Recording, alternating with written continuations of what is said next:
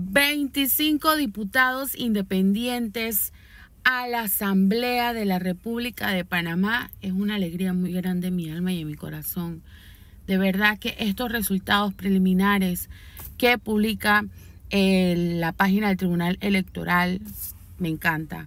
Hasta este punto, el PRD estaría llevando 12 curules, el Partido Popular 2, el Molirena 1, el Partido Panameñista 8, Cambio Democrático 8, Partido Alianza 2 curules, realizando metas se estaría llevando 13 curules, el Partido País 0 y no sobrevive, Moca 4 curules y libre postulación 21 curules. Lastimosamente, obviamente se nos iban a colar algunos impresentables, indeseables como Tito Afú, Cohen, Popi Varela y Dana Castañeda. Sin embargo, yo amanezco con fe alegría y confianza porque votamos bien al menos en la asamblea.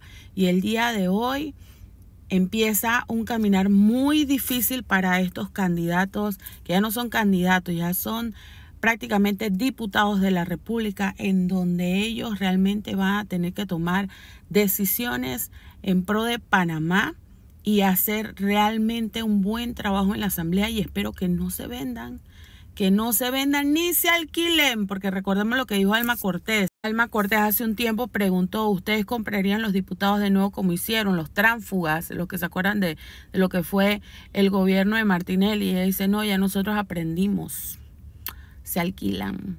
Así que yo espero de que ninguno se alquile, sino que realmente haga las cosas bien por Panamá.